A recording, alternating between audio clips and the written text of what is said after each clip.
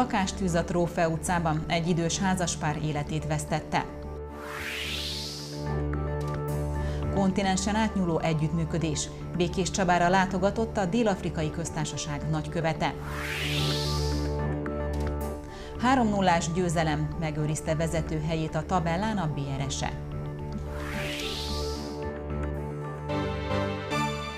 Jó estét kívánok! Önök a 7.tv híradóját látják. Életét vesztette egy idős házaspár reggel Békés Csabán, miután kigyulladt lakásuk 15 négyzetméteres helyisége. A rendőrség kizárta az idegenkezűséget. Egész délelőtt tartott a tűzvizsgálat ebben a Trófea utcai sorházban, ahol a szomszédok reggel 7 óra körül sűrű füstre lettek figyelmesek. Ömlött a füst, de, de nagyon, még a tetőn is. Ott is ömlött.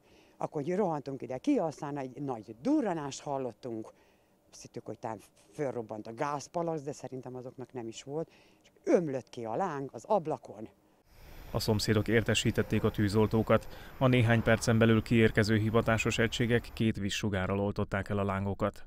A tűzoltók az égő épületből két szemét kihoztak, azonban ők a káresemény során elhunytak. A tűz keletkezésének okait a Békés megyei katasztrófavédelmi igazgatóság tűzvizsgálati eljárás keretében vizsgálja. A rendőrség tájékoztatása szerint egy idős házaspárról van szó, akik valószínűleg a helységben található kájha miatt veszítették életüket. A rendőrség kizárta az idegenkezőséget és jelenleg közigazgatási eljárás keretében vizsgálja az eset körülményeit. A kájhán kívül elektromos hiba, de akár az is okozhatta a tragédiát, hogy az áldozatok rendszeresen dohányoztak az épületben. Mivel önkormányzati bérlakásról van szó, a katasztrófavédelem és a rendőrség mellett a vagyonkezelő szakemberei is vizsgálták a helyszínt, illetve statikusok is dolgoztak az épületben, hogy kiderüljön, a szomszédos lakásokat elválasztó tartófalak mennyire sérültek. Akár napokig is eltarthat, mire a szakemberek a tűz keletkezésének okait és a tragédia körülményeit kétséget kizáróan megállapítják. 7,4 tonna ismeretlen eredetű hústerméket találtak a Nemzeti Adó és Vámhivatal Békés megyei Adó és Vámigazgatóságának pénzügyőrei Gádoroson, egy korábbi termelő szövetkezet telephelyén. A revizorok egy közúti EKR ellenőrzést követően jutottak el egy gazdálkodó telephelyére, ahol egy közeli raktárban kacsa, pulyka, sertés és csirkehúsra bukkantak. Az épülettől távolabb mintegy 20 köbméter különféle állatokból származó belsőséget és vágási hulladékot találtak. A körülményekre való tekintettel a pénzügyőrök azonnal értesítették a kormányhivatal munkatársait, akik elrendelték a nagy mennyiségű húsáru megsemmisítését. Először látogatott Békés megyébe a Dél-Afrikai Köztársaság Magyarországi nagykövete. Johann Marx a gazdasági együttműködés lehetőségeiről egyeztetett Békés Csaba polgármesterével, Szarvas Péterrel. Napokon belül megköthetik a nyertes vállalkozókkal a szerződéseket az M44-es gyorsforgalmi út építése kapcsán. A munkálatok a tervek szerint 2019 harmadik negyedévében fejeződhetnek be. Hazánkban folyamatosak az ehhez hasonló útfelújítások és az autóútépítések. Többek között erről is beszélt Békés Csabai látogatásán a Dél-Afrikai Köztársaság Magyarországi nagykövete. Az Európai Unióban önök olyan szerencsések, hogy nagyon fejlett infrastruktúra van a városok és országok között. Például könnyen lehet közlekedni Budapest és London között vasúton és kétsávos autópályán, de Afrikában ez nem így van. Ilyen fejlesztésekben kérjük Magyarország segítségét. Békés Csabán már működik egy dél-afrikai tulajdonú vállalat, a Mondi Kft., mely jelenleg 1,9 milliárd forintos állami támogatás mellett egy 14 milliárd forintos beruházást hajt végre a városban. Ez jó alapot szolgáltathat a jövőbeli gazdasági együttműködéshez. Három olyan területet vizsgáltunk, ahol reálisan elképzelhetőek a gazdasági kapcsolatok. Vízgazdálkodás területén, a startup vállalkozások területén, illetve az élelmiszergazdaság területén lehetségesek együttműködések. A nagykövet és a polgármester a megbeszélésen arról is egyeztetett, hogy 2017-ben a Békés megyei vállalkozásokat is tájékoztathatják a lehetséges dél-afrikai gazdasági együttműködésekről a Békés megyei gazdasági kamara bevonásával. A hagyományoknak megfelelően idén is december első péntekén rendezte meg a Vállalkozók és Munkáltatók Országos Szövetsége a Vállalkozók Napját. Az immár 18. alkalommal megtartott nagyszabású rendezvényre az ország minden megyéjéből közel 600 vállalkozó és üzletember érkezett. A magyar üzleti élet egyik legrangosabb találkozójává vált eseményen a 2016-ban legkiválóbbnak talált vállalkozók kaptak magas szintű állami és szövetségi kitüntetéseket. Fontos, hogy minél több olyan vállalkozó és vállalkozás legyen, aki képes munkahelyet teremteni, mondta a nemzetgazdasági miniszter. Varga Mihály hozzátette, a vállalkozók meghatározó, domináns szereplői a magyar gazdaságnak. Nélkülük nincs gazdaság, nincs gazdasági növekedés, hiszen egy országot mindig két dolog hajt előre. Egyik az innovációs képesség, képesek vagyunk-e megújulni, elfogadni az újat, alkalmazni és használni. A másik pedig a vállalkozói képességek, a vállalkozói szellem megléte egy országban. A magyar gazdaságban a munkahelyek számának több mint kétharmadát a kis és középvállalkozások teremtik meg, mondta a szervezet elnöke. Demián Sándor szerint a társadalom gazdasági alapon működik, a vállalkozók nélkül pedig nincs társadalom. Alapvetően át kell rendeződjön a kis és középvállalkozások profilja, a termelékenységet kell keresni és a versenyképességet, és ehhez a politika, az állam, a kormány, a mostani is, meg az előzőek, vagy inkább a kiegyezés óta így igaz ez, le kell vegye a versenybe az ólom mellényt a magyarokról, hiszen ők egy ilyen hátrányjal versenyeznek. Ez pedig az, hogy a közszféra foglalkoztatottai véleményem szerint 300 ezeren, tavaly a kormány azt mondta, hogy 500 ezeren többen vannak, amíg ez nincs kikorrigálva, addig sikert gazdaságba és versenybe Magyarország nem tud elérni. Nagy Mihály László 1990-ben döntött úgy, hogy otthagyja addigi munkahelyét és csatlakozik a szövetséghez. Mint mondta, voltak nehéz időszakok, de most arra a vállalkozók meghatározó szerephez jutottak a magyar gazdasági életben, amit sikerként él meg. És én azért lettem a Vállalkozó Szövetség tagja, hogy valami segítséget kapjak adózási, TB és egyéb ismeretekből, és ehhez képest, ha most itt körbenézek, akár Békés megyébe országosan, hogy egy nagyon komoly szervezet vállalkozói szövetségként működünk, és bizony jelentkeznek hozzánk a hagyományoknak megfelelően az ünnepségen kitüntetések átadására is sor került. Így az arra érdemesek magyar gazdaságért díjat, miniszteri elismerő oklevelet és évvállalkozója díjat vehettek át. Jótékonysági ételosztást rendezett a Kornélia étterem és a Linamás ZRT. A vállalat Békés Csabai gyáretségének igazgatói szombaton az Andrási úton 500 adag melegétellel várták a rászorulókat. Szépen sorban teltek meg a műanyag tányérok és az ételhordók a hétvége első napján. Az akciót hirdető két vállalat a szeretet ünnepének közeltével főként a nagycsaládosokat, a rászorulókat hívta erre az alkalomra. Voltak olyanok, akik kevés jövedelemből napról napra élnek, de akadt olyan is, akinek éppen nincs fedél a feje fölött. A szervezők célja az volt, hogy segítséget nyújtsanak a téli időszak kezdetén. Hát nekünk nagyon jó albérletben vagyunk, és így a ebédet nagyon jó ötletnek tartom ezt a gyereknek is, úgyhogy ez mindenkinek szerintem, mert sok szegény család él meg, aki egyedül vannak albérletben, azoknak kevés a jövedelmük, és muszáj. Nekünk nagyon jó. Hát emberbarát szerintem. Szegények vagyunk, 28-ból élünk. Jó esik, jó esik, ha adják. A vállalat Békés Csabai Egysége már tavaly is indított hasonló kezdeményezést, akkor pár nappal karácsony előtt rendezték a jótékonysági akciót. A vállalat fontosnak tartja, hogy ilyen formában is támogassa a helyi rászorulókat. A vállalatunk, a Lina már az a megyéb legnagyobb munkatatója, ezért van egy társadalmi szerepvállalásunk. Ezen túlmenőleg, hogy advent idején az emberek a családi melegséget keresik, és próbálunk mi is ehhez hozzájárulni nagyságunk által is, hogy akiknek tudunk, adunk.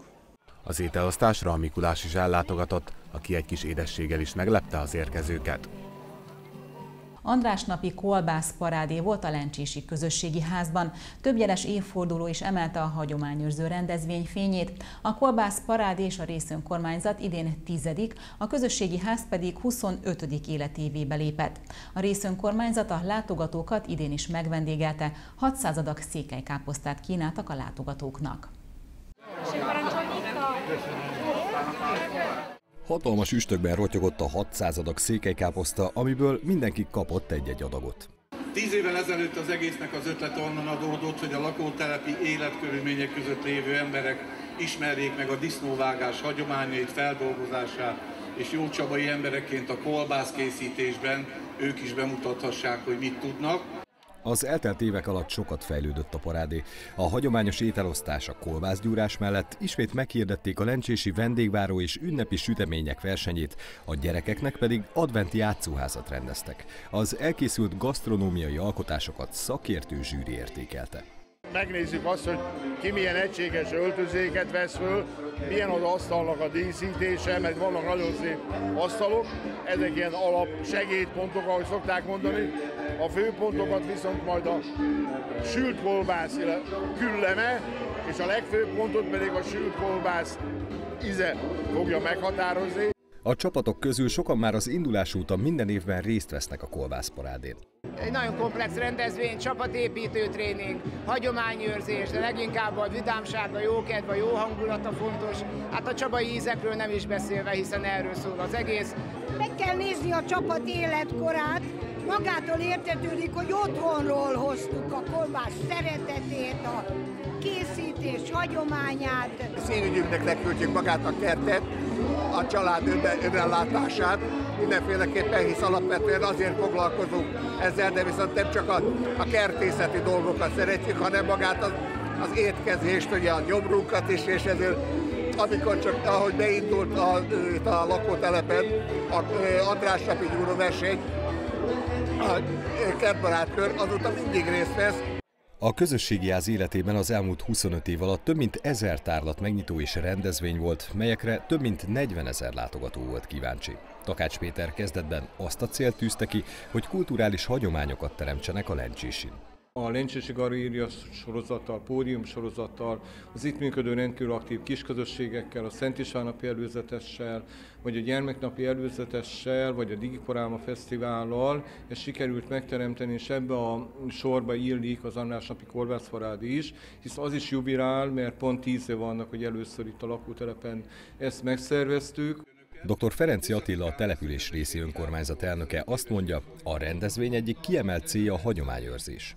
Hagyományőrző, mert Békés Csabán a csabai kolbász, a hungarikum, szinte minden családban van olyan, aki ért a kolbász készítéséhez. Bár itt tíz csapat révén lehetséges, hogy tízféle íz fogunk tapasztalni, de az mind csabai íz lesz. A részönkormányzat elnöke hozzátette, céljuk, hogy a közös élmények miatt mindenki úgy gondolja, jó Békés Csabán a lencsésin élni. A gyerekek boldog mosolyjal az arcukon várták a Csaba gyöngye Mikulását. A nagyszakáló együtt énekelt a kicsikkel, akiknek még egy-egy jó tanácsot is elmondott azért, hogy senki ne maradjon ajándék nélkül. Mert hogy az én kis manócskáim bizony egész esztendőben figyelnek benneteket hatalmas nagy messzelátókkal, és figyelik azt, hogy ki a jó gyermek, ki a rossz gyermek, de el kell, hogy mondjam nektek, hogy az idei esztendőben nem volt egyetlen egy rossz gyermek sem, hogy meg kell, hogy dicsérjelek benneteket. Vagyis az összes itteni kisgyerek megérdemelten kapja meg az ajándékokat. Egy szép karácsonyi dalt is elénekelt a Mikulás közösen a gyerekekkel. itt van,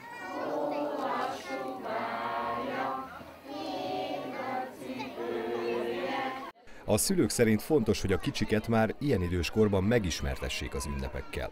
Hát is szeretnénk továbbadni, hogy ugyanúgy élvezik és várják a Mikulásokat, mint ahogy mi, ahogy vártuk az ablakba, hogy jöjjön, és hozza a várva várt Mikulás csomagot. A Csaba Gyöngye program szervezői szerint a gyerekeknek nagyon fontos a Mikulás, és ilyenkor nekik is ki kell tenniük magukért. Egy igazi Mikulás fesztivált szerveztek zenés, táncos programokkal, sok finomsággal, édességgel a gyerekek és a szüleik számára.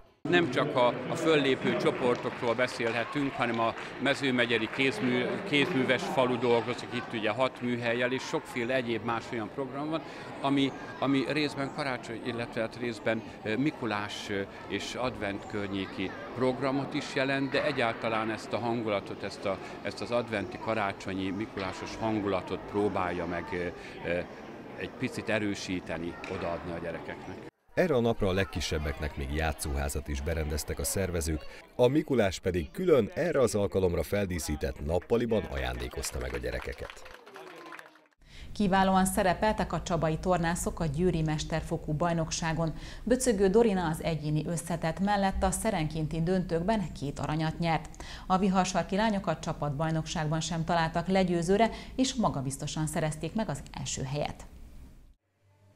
A Rácz Lukács tornacsarnokban nincs megállás.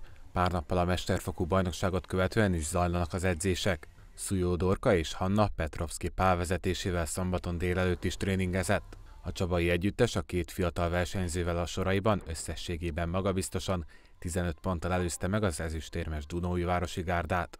Szerintem a talajon volt a legjobb, ott a pontszámban is látszott. A korlátom is egész jó volt, viszont az ugrásommal meg a gerendemmal nem vagyok megelébe, megelégedve, mert az ugráson hát hátra lépegettem, gerendám meg leestem egyszer. A csabai tornászok egyéniben is remekeltek. Böcögő Dorina a szerenkénti döntőkben két aranyérmet is nyert, ugrásban és talajon, ugyanakkor a legjobban az egyéni összetett első helynek örült. Négy év után sikerült győznöm, ez engem nagyon meglepett, hiszen őszintén bevallom nem készültem erre, hiszen az idei olimpikon Kovács fia volt leginkább az esélyes, leginkább az döntött most, hogy ki, ki ront kevesebbet, ki tud jobban aznap, az adott nap fejben ott lenni, hiszen a korlát kivételével nagyjából egy anyagerővel rendelkezünk. Az öt hónap után sérüléséből visszatérő Makra Noémi a csapat aranyból vehette ki a részét, míg felemás korláton bronzérmet szerzett. A Békés Csaba 1912 előre csapata a Szeged 2011 Grosics Akadémia együttesét fogadta a labdarúgó NB2 19. fordulójában. A találkozó fagypont körüli hőmérsékletben kezdődött és nem hozott sok helyzetet. Az első félidő legnagyobb hazai lehetősége a 32. percben jött el, Juhász György lövése azonban keresztben elsuhant a kapu előtt. A második félidőt Király Patrik távoli lövése vezette fel az 50. percben, a csabai kapus Ribánszki azonban kiütötte a labdát. A 81. percben Andorka Péter fejelhetett volna gólt, de a hazai hálóőr ezt is védte. A csabaiak mezőfölényben játszottak, a szervezetten játszó szegediek viszont megérdemelten vittek el egy pontot a Kórház utcából. A tabella 5. helyén álló lilafehérek vasárnap a Cegléd ellen zárják a 2016-os esztendőt. Magabiztos győzelemmel kezdte nehéz decemberi sorozatát a BRS-e együttese. A csabai lányok vasárnap a tabella utolsó harmadában elhelyezkedő Budaörs csapatát fogadták a városi sportcsarnokban. A kék-fehérben pályára lépő házigazda már a mérkőzés elején tudatosította ellenfelében, hogy ezen a délutánon nem szeretne szettet veszíteni. A nyitó játszmát óriási fölénnyel 25-9-re hozta a címvédő. A fordulást követően sem változott a játék képe, Szakmári Grétáig tetszés szerint értékel a pontjaikat, 25-12-vel szereztek 2-0-ás vezetést. A harmadik játszmában gyűjtötte a legtöbb pontot a budaörsi gárda, szám szerint 18-at, de nem forgott veszélyben a 3-0-ás csabai győzelem. A BRSS sikerével megőrizte vezető helyét a tabellán, pénteken pedig már nehezebb feladat vár a viharsarkiakra, hiszen az ötödik helyezett Jászberény érkezik Bikis Csabára. Ez volt már a híradó, további híreinket és videóinkat a behír.hu internetes oldalon találhatják meg. Amennyiben tehetik, maradjanak továbbra is velünk, viszontlátásra!